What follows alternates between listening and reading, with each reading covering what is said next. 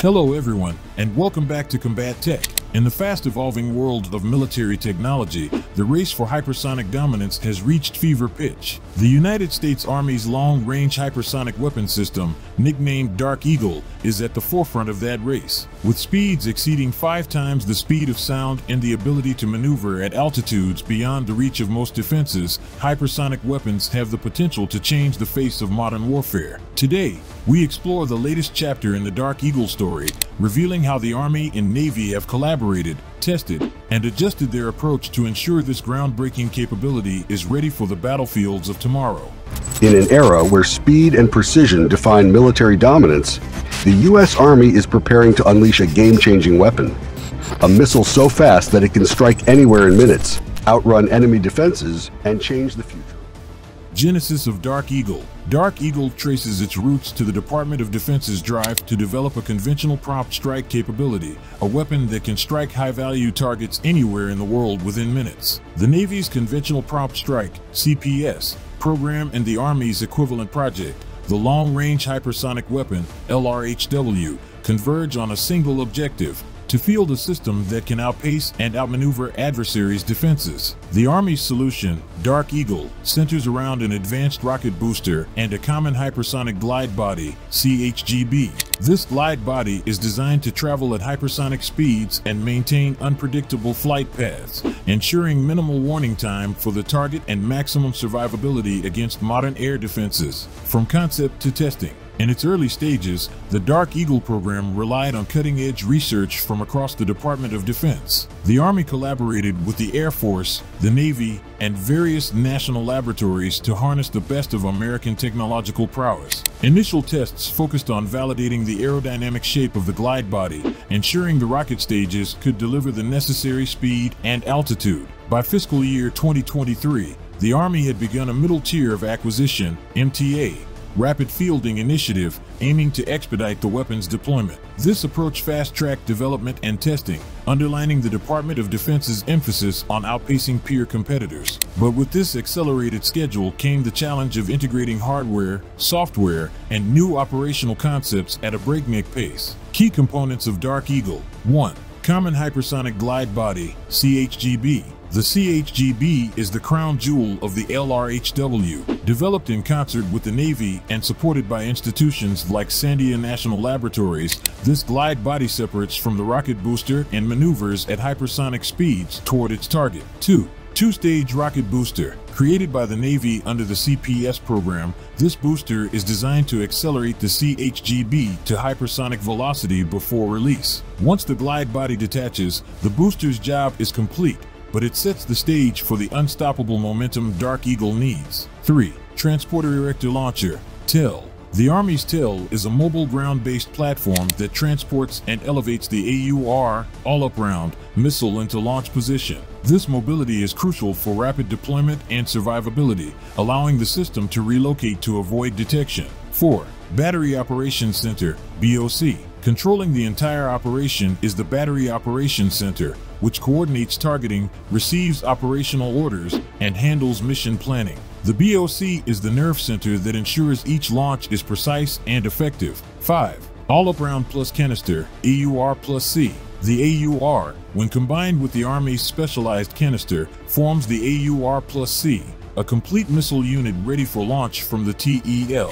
The Navy uses an almost identical AUR, but packages it in different canisters designed for its Zumwalt-class destroyers and Virginia-class submarines. Risk reduction and flight testing. Fiscal year 2024 saw a series of ambitious test events and risk reduction measures designed to perfect Dark Eagle. First quarter FY24. The Army and Navy joined forces for a risk reduction campaign aimed at identifying and fixing potential system faults. Lessons learned from earlier test launches guided the campaign, which sought to ensure the next flight would run smoothly. Third quarter FY24. During an integrated launch sequence test, the Army successfully replicated the issues encountered in previous flights. This allowed them to confirm the effectiveness of newly implemented corrective actions. Later that quarter, the Navy conducted a successful launch of its prototype AUR, marking a major milestone.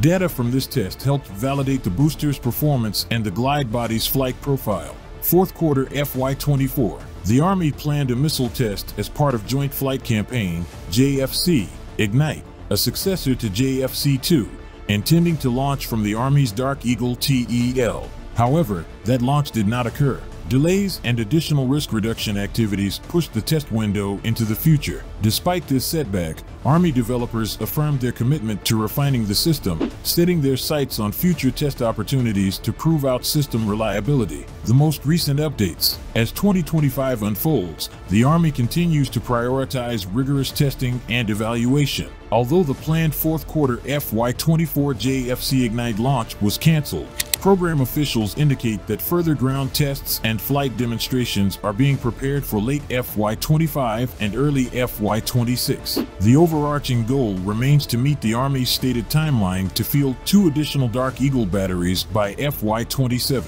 In parallel, the Navy's CPS program is fine-tuning its own canister integration and is reviewing data gathered from the successful AUR flight test in third quarter FY24. Officials emphasize the importance of ongoing risk reduction to address any potential performance gaps before the next launch. By leveraging the combined knowledge from the Navy's test campaigns and the Army's progress on hardware integration, the Dark Eagle program aims to minimize further schedule slips. The mission and strategic implications. Dark Eagle isn't just a technological marvel, it's also a cornerstone of America's strategic deterrent posture. The weapon is designed to strike high payoff, time-sensitive targets quickly and decisively, offering commanders an option when minutes matter. U.S. Strategic Command holds the authority for employing these hypersonic strikes under the direction of the National Command Authority. This centralized command structure ensures that Dark Eagle's immense destructive potential is aligned with national security objectives at the highest levels, program management and future fielding. The Army Rapid Capabilities and Critical Technologies Office, RCCTO, initially led the charge in developing and fielding the LRHW prototype.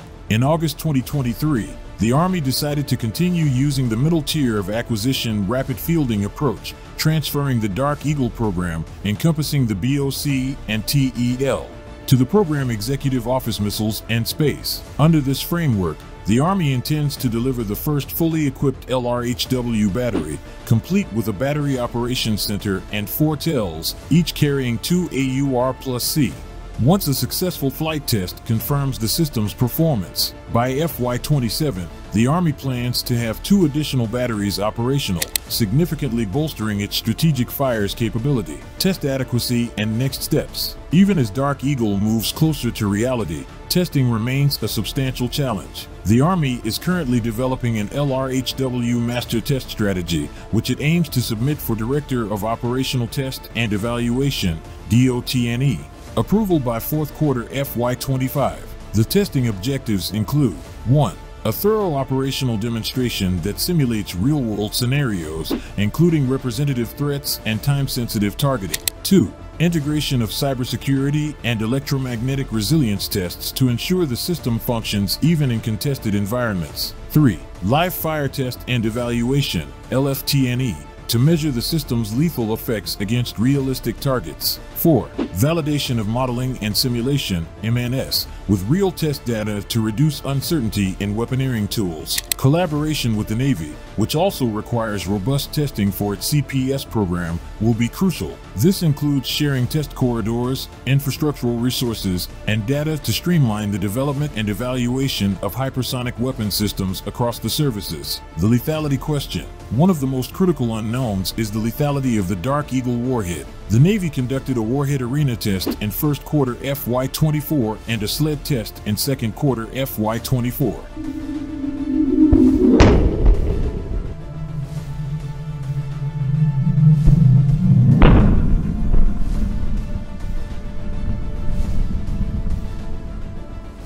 While the initial tests didn't fully replicate operational scenarios, recent efforts have begun incorporating threat representative targets, which are crucial for understanding real-world destructive power. Experts from Lawrence Livermore National Laboratory are analyzing the data, searching for insights into the warhead's performance against specific target sets. Until the Navy and Army conclusively validate the warhead's lethality, there is a risk that mission planners might overestimate or underestimate the weapon's destructive potential, leading leading to either excessive use of resources or inadequate strikes. Survivability in a contested environment. Modern warfare extends far beyond the physical battlefield. Cyber attacks, electronic jamming, and directed energy weapons all threaten to degrade or disrupt hypersonic operations. The Army has yet to conduct an end-to-end cyber survivability test that includes both cooperative vulnerability assessments and adversarial red team exercises. The Navy's approach for the AUR's full-spectrum survivability,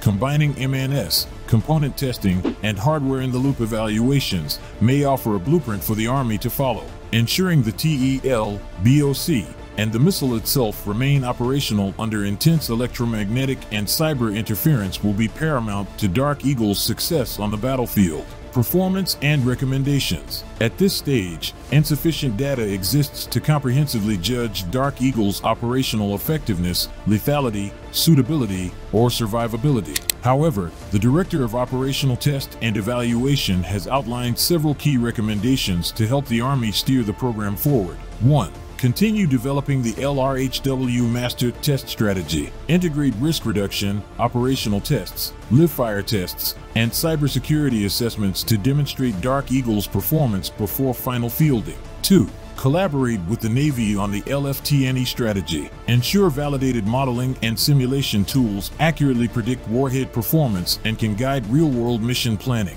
3. Include full-spectrum survivability demonstrations. Incorporate contested environments and enemy countermeasures during operational tests, reflecting the realities of modern conflict. 4. Conduct comprehensive cyber survivability testing. End-to-end assessments with red team adversaries will illuminate potential exploits and vulnerabilities. 5. Validate modeling and simulation outputs. Correlate M&S results with ground test and subscale data to refine design parameters and operational concepts. 6. Incorporate operationally representative targets in flight tests. Testing against realistic threat profiles will reduce lethal effects uncertainties. 7. Collaborate across the services, leveraging common practices, test data, and modeling capabilities with the Navy and Air Force can expedite solutions and reduce costs. Dark Eagle is more than just a weapon. It's a statement of technological ambition and strategic resolve. If successful, it will give the Army the capability to strike at hypersonic speeds, far beyond the reach of most defenses, and respond to rapidly emerging threats anywhere in the world. Yet, challenges remain. As the Army and Navy refine flight test plans, integrate advanced components, and navigate complex operational considerations, each test and dataset brings the United States one step closer to deploying a new class of hypersonic weapons. With the next flight tests anticipated in FY25 and beyond, Dark Eagle's journey unfolds in real time.